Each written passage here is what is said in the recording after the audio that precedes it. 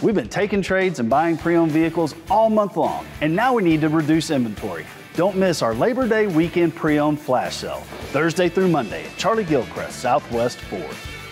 For the very best deals, look for flash sale units on our website or scan this code.